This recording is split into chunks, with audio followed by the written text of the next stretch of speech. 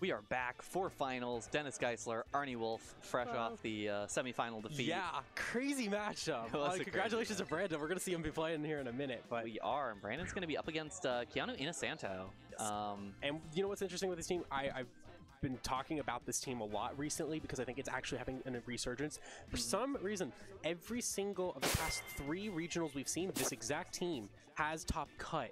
And see it right now. It's Keanu's on the left with that Fluttermane, Ogerpon, Wellspring, Chiyu, Glimmora, Urshifu. This one is uh, Single Strike, and uh, last but not least, Tornadus Incarnate.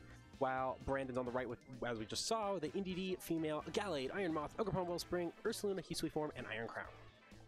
But yeah, I think this team that Keanu has has kind of just become a anti-meta staple. It is so strong with the choice specs Chiyu, Booster Energy, Flutter Fluttermane with Icy Wind to just kind of chip some stuff off.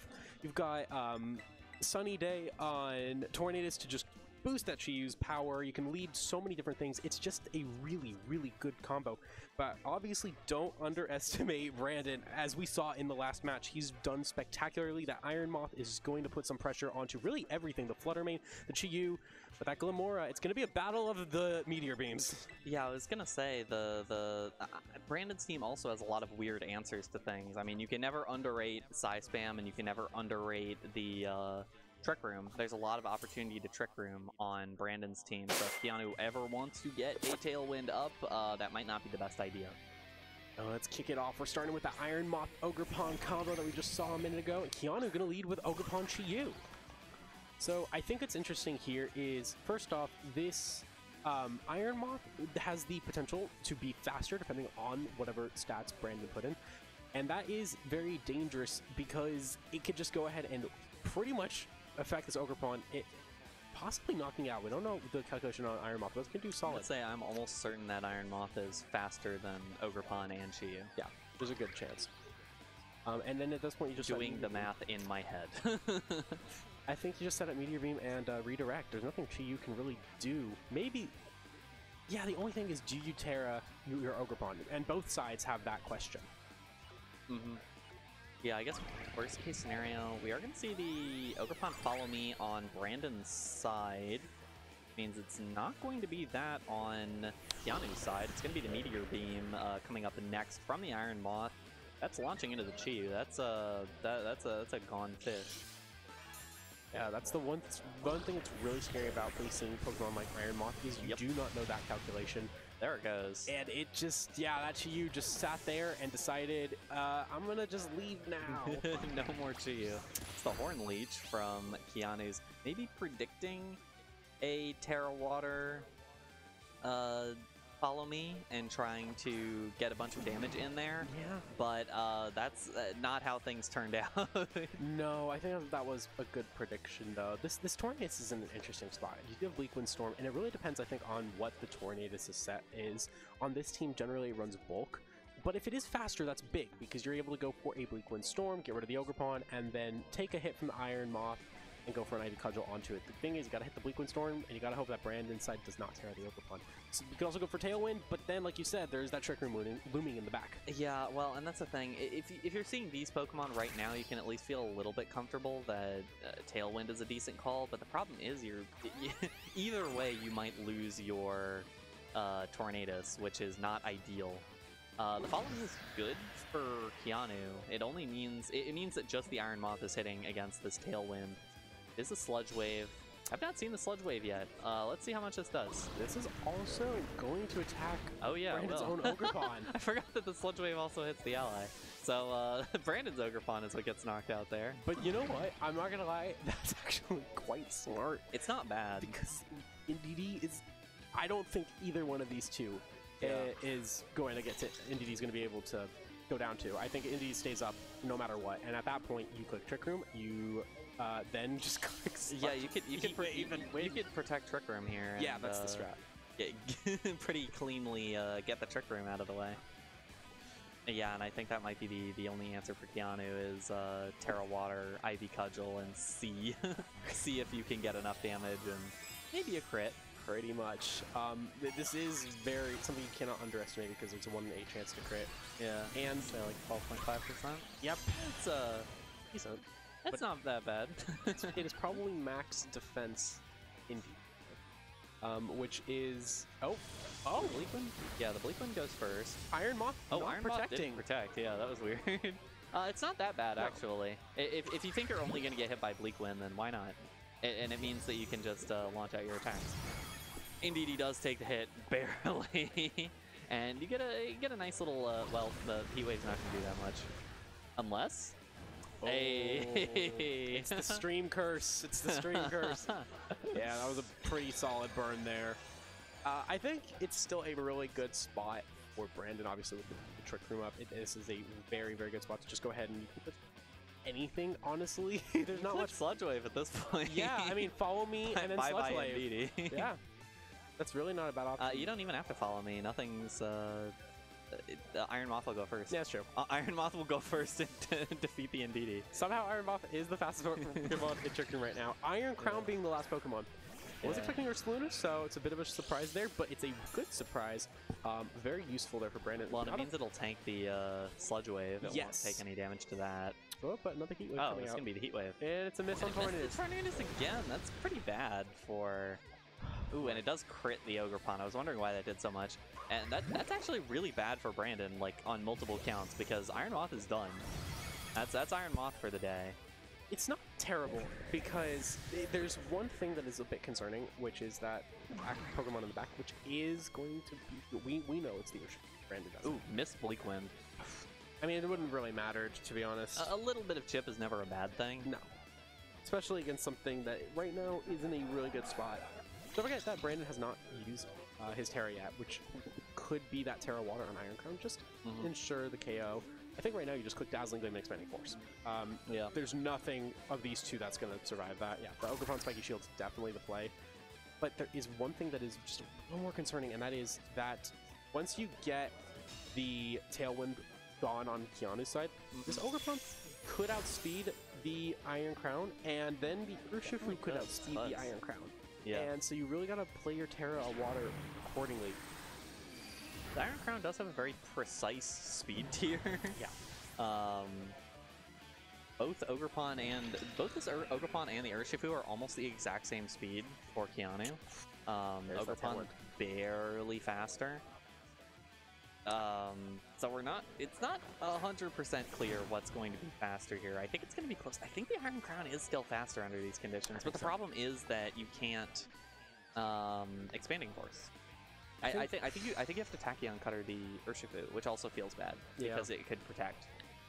I think you Dazzling Gleam right now, and then maybe go for an Expanding Force, Tera Water Maybe. Expanding Force, and then just you got to Tera Water obviously to survive Yeah. Wicked Blow, but then you really want to get rid of that Ogre Ogerpon, Mm. so then the Tachyon Cutter can pi- pick up the KO. And at that point, Yeah. if Urshifu does protect right now, if it doesn't protect it, it gets uh, broken. It's sash broken because Dazzling Gleam. Mhm. If it does protect, the then Sash isn't that important because Tachyon Cutter is the only thing really gonna yeah. Although just a little bit of chip from my experience playing Iron Crown, you uh, get the Tera. It's probably gonna be the Tera Water there. uh, uh, yeah. But, but with my experience playing Iron Crown, you have to. It, it's a roll whether or not you one hit KO Urshifu. Mm-hmm. Uh, if you're playing max speed, if this is a modest set though, it's it's over. Yeah, I, I think it's modest. I, I think we've seen it. we've seen it, uh, Oko and Ur- Urshifu uh, earlier today. Then it's This Iron Crown. fine. Yeah, there's the dazzling. There's the Gleam. Dazzling Gleam, and uh, Oh yeah, my goodness. Wow. oh, there's the critical hit on Ogerpon. There's a little bit of extra damage. Look at Blow.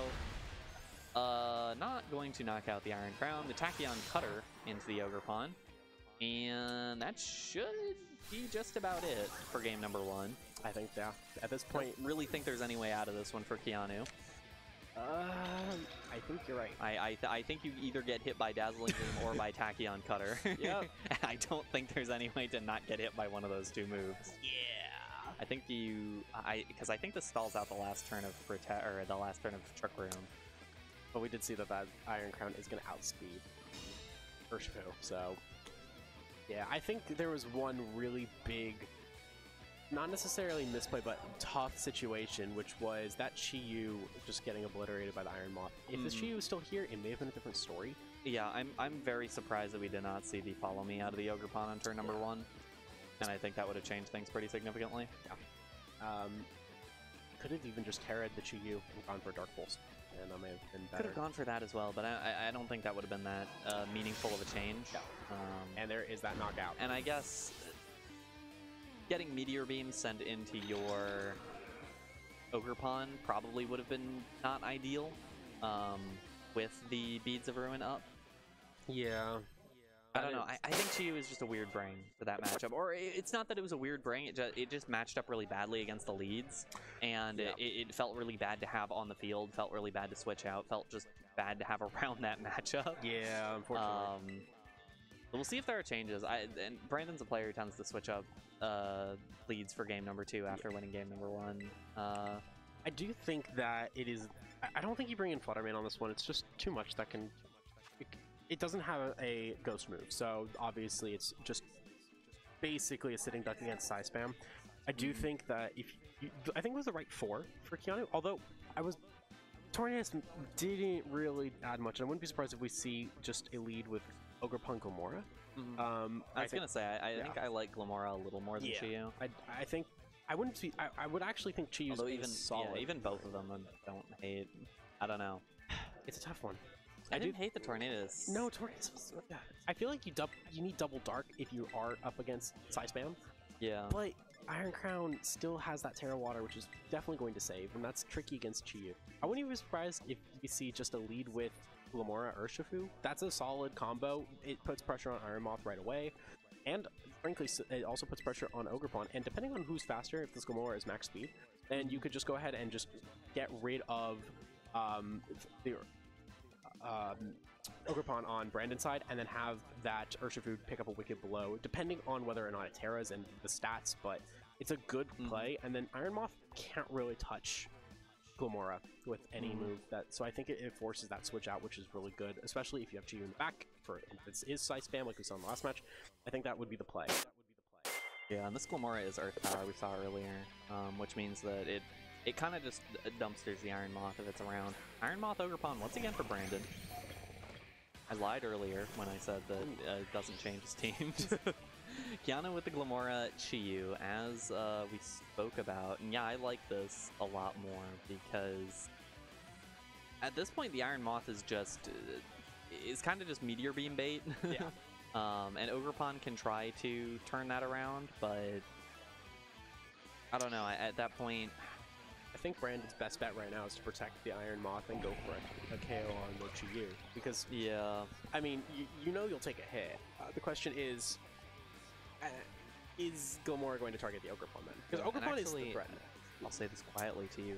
He's actually uh, like I think one point faster than the Ogerpon. Is At level 50, it's one or two points faster than the Ogerpon. But Chiyu will actually go first here. This is a slow, this is a, a slow Gripon, uh, as we could say. It's it's a double protect. It's a scout, a scouting turn. That's smart. I, I like that. But that Um, does, I, I- don't, I actually kind of don't like that because now you're giving the Glimmora plus one uh, and not forcing it to Meteor Beam. Now, now, now you're opening up Glimmora's options way more. I think it's okay. Um, and, and and here's why. I think if you Tera your water, Tera to water, and just follow me, there's really nothing that these people can. do. That's Although the fair. snarl on Chiyu coming out is actually a big plus because it allows you to go ahead and switch out Glimmora Mm. um, so, I'm sorry, switch out Iron Moth, and then knock out the Glimmora or force it to Tera to Grass on that turn. And if you Mhm. switch it to Iron Crown, yeah, you'll be at minus one, and it may do solid amount of damage, but you're able to just go in, and after that, pretty much ensure that you're able to just sweep yeah, the, because this- you're going to be faster than this- the two. The speed tiers here are ludicrous. Looking at this, Chiyu is one or two points faster than Ogre Ogerpon, which is one point faster than Glimmora at level 50. Crazy. Um, that's that, that's the thing. It's it's the tiniest differences in how you train these Pokemon that can decide really important things in games like this. It's gonna be uh, Iron Moth staying in using the Heat Wave. Chiyu gets a Snarl off as a second uh, Pokemon to go here. Ogerpon takes a pretty decent chunk there, but Ogerpon will go next now. Uh, Ivy Cudgel into the Glimmora. That should uh, absolutely knock it out. Yeah, I feel like a switch out. Drops the toxic debris. I feel like it's not a terrible play. I was, and uh, the Heat Wave was very smart because you want to scout up for that, going for the um, Tera. But I, I, it's interesting because it, yeah, I, I think Brandon may have been safer switching. I, I just because this Urshifu coming in now gets a really, really nice Wicked Blow onto any. Um, Yeah. And especially if the two in the back are the same as the last match, then it's it is in a good spot. And I think that if you go for another snarl and then a Wicked Blow onto. It's a tough one. The, the thing, the tough part is it's the Ogerpon speed. So if if this Urshifu's faster, then a Snarl plus Wicked Blow should be able to get rid of the Ogerpon, and at that point, Iron Moth can't really do anything, and it will be at minus two. So I think that's the play: is to just go for Wicked Blow, Snarl again, and hope that you're faster. Oh, we're gonna see the Meteor Beam come out, and Chiyu is still in play. Yeah. It, it is a neutral. uh, It, Iron Moth's now at neutral special attack here, so this isn't. it- It's probably gonna. It's probably gonna knock out the Chiyu. I think let's, so. let's be real. It's probably gonna. 20 Ooh, Which does not knock HP. out the Chiyu. Close combat going before the Ogerpon picks up Yep. that knockout. yeah, and uh, then we get this uh, another snarl out of the Chiyu. That was really, really Close combat, strong wicked blow against a neutral target.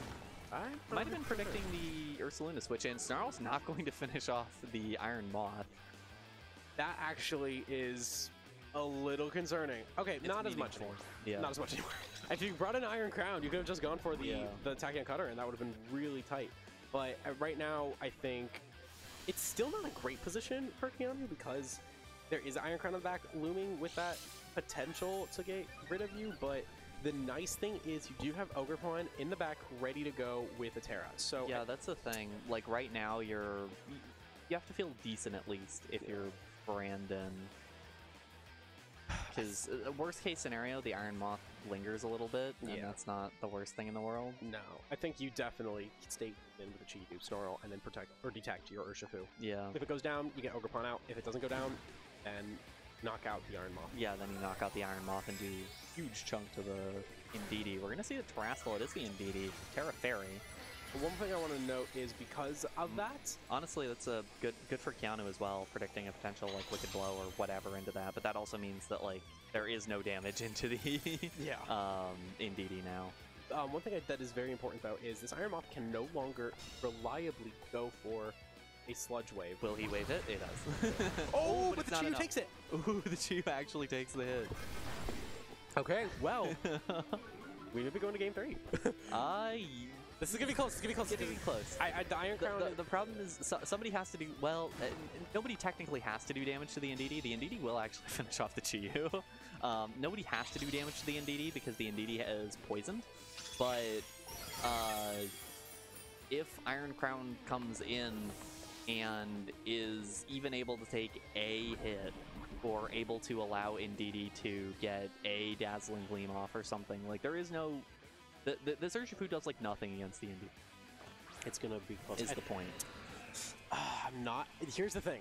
This Iron Crown gets gets hit pretty hard by an Urshifu, but it hits Urshifu pretty hard. Remember, this Urshifu is at minus uh, minus defense, minus special defense off of the close combat. So Tachyon Cutter definitely KO. Tachyon Cutter 110% KOs. I don't think that's actually what you. I think right now your Ogerpon Tera's Water, Ivy touches at PD, and then you X. Yeah, or sorry, uh, Spiky Shield, and then it's gonna come down to how much Iron Crown does.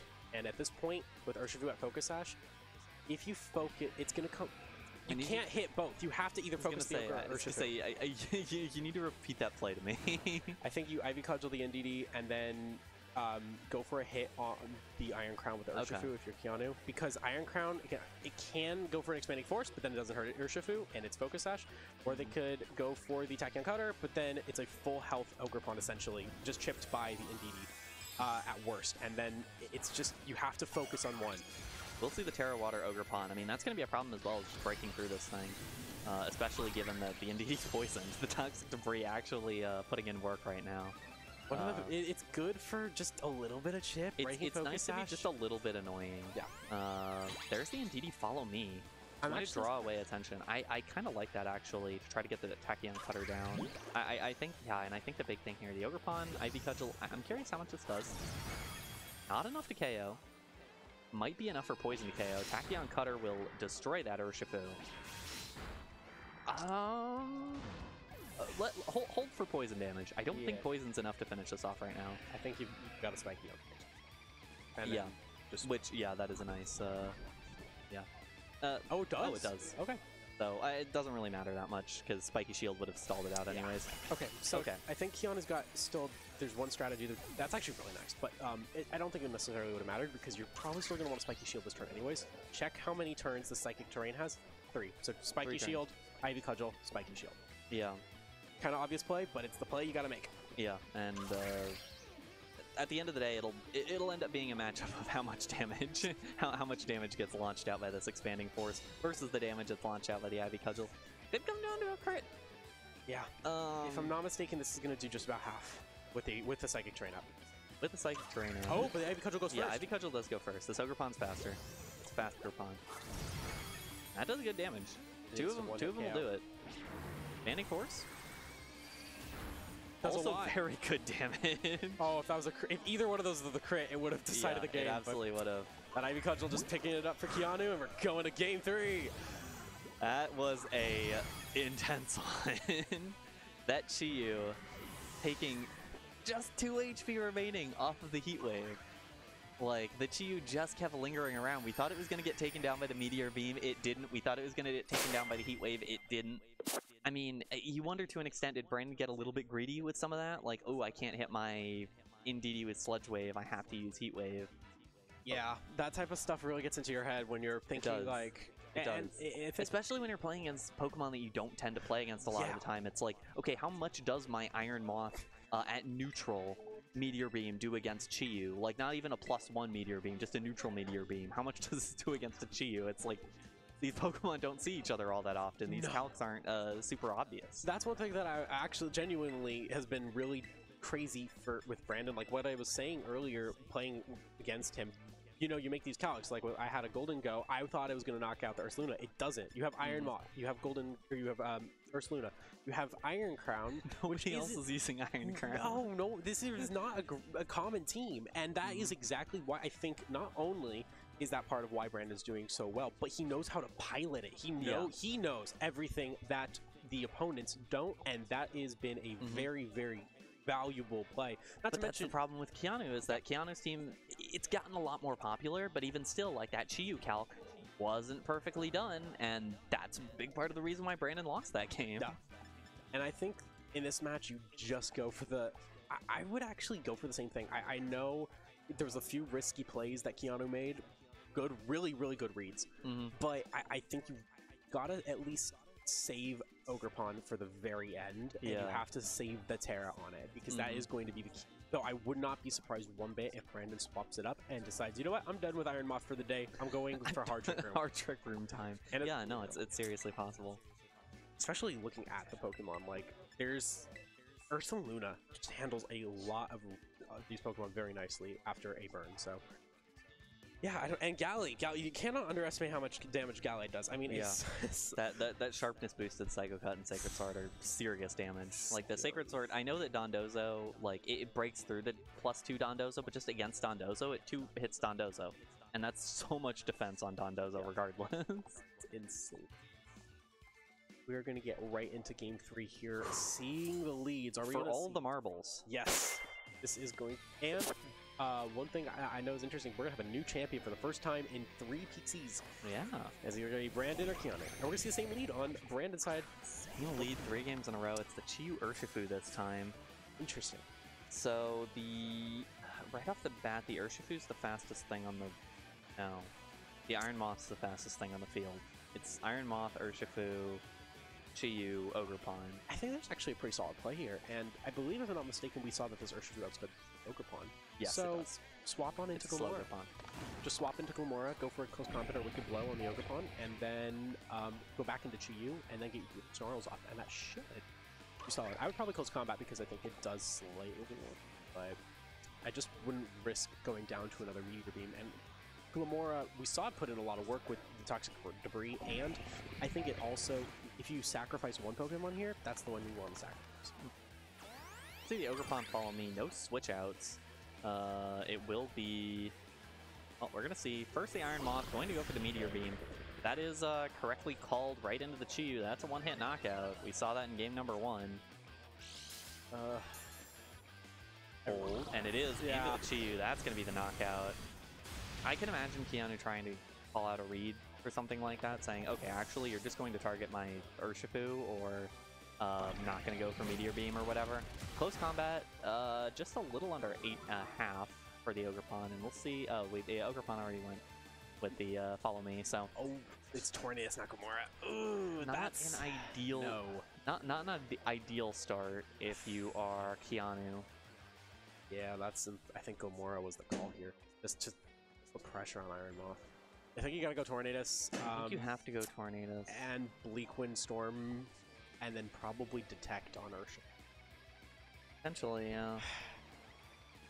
Basically, I think if you're Keanu, Keanu, you just want to get it back to that same end game that you had the last match because that is favorable, seeing how much damage the Ivy Cudgel Tera did. hmm But to get into that position is a lot tougher now. And so maybe we could, I mean, you could go for the Bleak one and then we could blow onto the Iron Yeah, Moth. I'm not I'm not 110% ab- sure about Iron Moth's speed versus Tornadus' speed. If Tornadus goes first, well, Ogerpon will spike his Shield first. Tornadus goes first. Bleak Wind speed drop. Oh, it is faster. Wind. Hold. Does connect onto the Iron Moth. Speed drop. No, no speed drop. speed drop. Sludge Wave connects. Uh, it won't knock out the Urshifu though, because it's uh, regardless, it has the sash. Yeah, That does so much damage. really does. it really does. That's insane. Uh, and so Wicked Blow comes out, and that should finish off the Iron Moth. Yeah, it does. That was a good call. That And was a very good call. One thing that's important to know is this is a faster Tornado. So Yeah.